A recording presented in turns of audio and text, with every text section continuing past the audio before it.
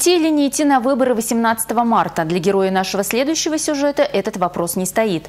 Он обязательно хочет проголосовать, но хочет быть уверенным, что сможет попасть на избирательный участок. Подробнее в репортаже Ольги Пырочкиной.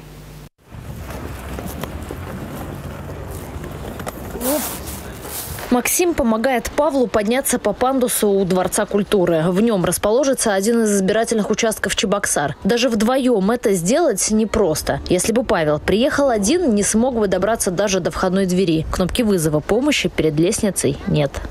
Поделились грехом пополам. Угол наклона, конечно, у пандуса не соблюден.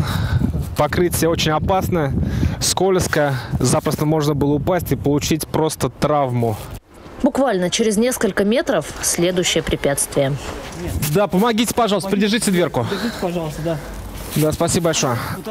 Внутри можно выдохнуть. Через рамку металлоискателя коляска проезжает беспрепятственно. Установленные для безопасности турникеты тоже не помеха. Все рассчитано.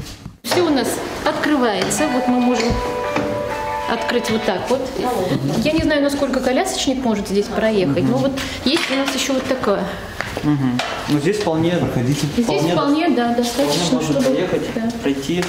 Павлу уже начинает казаться, что для человека, который вместе со всей страной хочет поучаствовать в выборе будущего для России и определить курс ее развития на ближайшие шесть лет, пандусы и входная дверь, по сути, пустяки. Но тут выясняется, избирательный участок расположится на втором этаже, а туда он не сможет подняться даже с помощью Максима. Именно вот такие недостатки на будущих избирательных участках сейчас по всей стране выявляет молодая гвардия. Мы проверяем избирательные участки для доступности для лиц с ограниченными возможностями. Данные проверки э, направляются в избирательную комиссию, чтобы в дальнейшем их устранить.